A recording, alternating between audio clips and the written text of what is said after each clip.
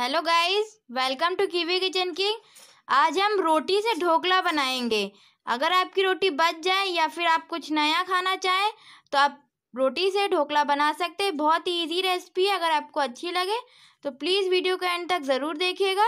तो आइए हम स्टार्ट करते हैं अपनी रोटी की रेसिपी बनाना। इसके लिए इंग्रेडिएंट्स देख लेते हैं। हमने यहाँ चार पाँच रोटी ली है। बासी ताजी आप कोई भी यूज़ कर सकते हैं। दो हरी मिर्च इसको बीच से कट कर लिया है और वन टीस्पून सफ़ेद तिली। वन टीस्पून धनिया पाउडर, वन टीस्पून सफ़ेद नमक, वन टेबल स्पून शुगर और हाफ़ टी स्पून हल्दी पाउडर। इनो ले लिया है। Two teaspoon oil, one teaspoon राई। हाफ़ कटोरी मठा, हाफ़ कटोरी सूजी। अब हम सारी रोटी को छोटे छोटे पीस में कट कर लेंगे। ये हमने सारी रोटी को इस तरह कट कर लिया है।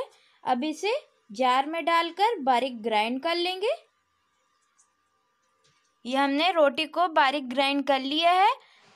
अब इसे बाउल में डाल लेंगे।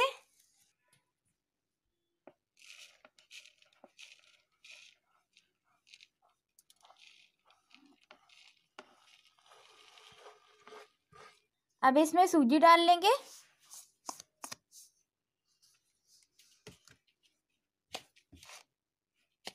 मठा? हमने यहाँ मठा लिया है, आप दही भी ले सकते हैं। इसे अच्छे से मिक्स कर लेंगे। और अब वाटर डालेंगे।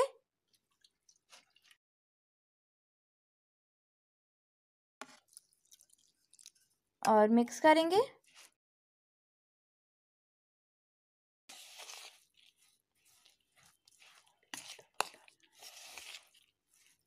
हमने इसमें वन कटोरी वाटर ऐड कर लिया है। अब इसे ढक कर दस मिनट रख देंगे, जिससे सूजी और रोटी दोनों अच्छे से फूल जाए। दस मिनट हो गए हैं। सूजी और रोटी अच्छे से फूल गई है। रोटी को अच्छे से बारीक ग्राइंड करेंगे तो अच्छी तरह से फूल जाएगी। अब हम इसमें सारे इंग्रेडिएंट्स डालेंगे। तो हमने हल्दी, नमक और धनिया पाउडर और शुगर लिया था, ये सब हमने डाल लिए हैं। इसे मिक्स कर लेंगे। हमने वन टेबल स्पून शुगर ली थी तो हाफ़ डाल लिए हाफ़ नहीं डाली है अब इसमें ऑयल डाल देंगे वन टीस्पून मिक्स कर लेंगे।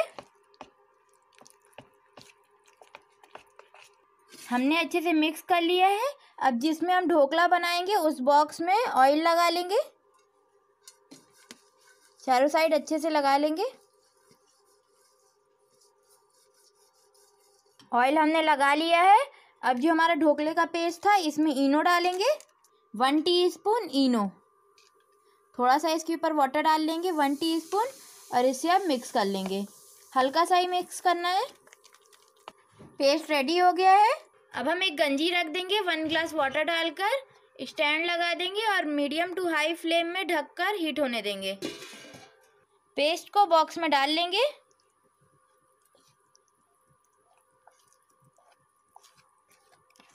पेस्ट को हमने बॉक्स में डाल लिया है, अब इसे गंजी में रख लेंगे। वाटर हीट हो गया है, अब इसमें रख देंगे।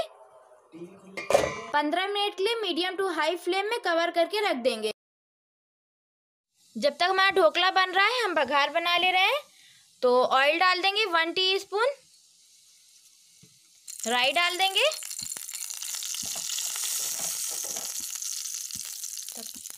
अब इसमें मीठी नीम की पत्ती डाल देंगे चार पाँच, दो हरी मिर्च और तिली। थोड़ा सा रोस्ट हो गया है, अब इसमें हाफ़ कटोरी वाटर डाल देंगे।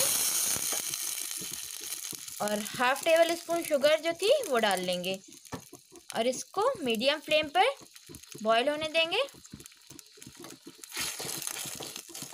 बघार रेडी हो गया है, गैस को ऑफ़ कर देंगे। पंद्रह मिनट हो गए हैं, अब हम चेक करेंगे। ये देखिए, ढोकला हो गया है। अब हम गैस को ऑफ़ कर देंगे और ढोकले को ठंडा होने देंगे। ठंडा हो गया है। अब इसे हम कट कर लेंगे। इस तरह हम दोनों साइड कट कर लेंगे। अब हम इसके ऊपर बघार डाल लेंगे।